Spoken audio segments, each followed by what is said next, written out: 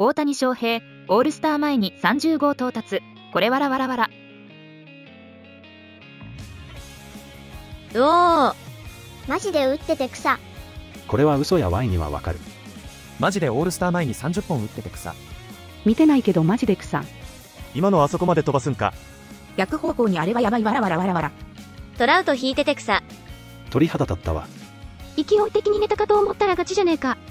筒香も来た。あめっちゃ開いて打たんかった。これ。大谷って1試合で複数ホームラン打つような爆発力に欠けるよな。これではホームラン王なんて無理や。でも月間 MVP 取れないんだよね。でも通算の名門本塁打数はまだ0本だよね。阻害が消えたおかげやね。筒香と大谷合わせて30本。吉田も今日打ってんのに絶対話題にもならんやん。入るか、入るか、じゃなくて全部確信歩きなのおもんないわ。一中卒期呼ばわりされてかわいそうやな。せや真実にしたろわら。アメリカじゃやることなくなってるやん。秘宝、メジャーリーグさん、大谷大国はあまりにしょぼすぎる。ご視聴ありがとうございました。チャンネル登録よろしくお願いします。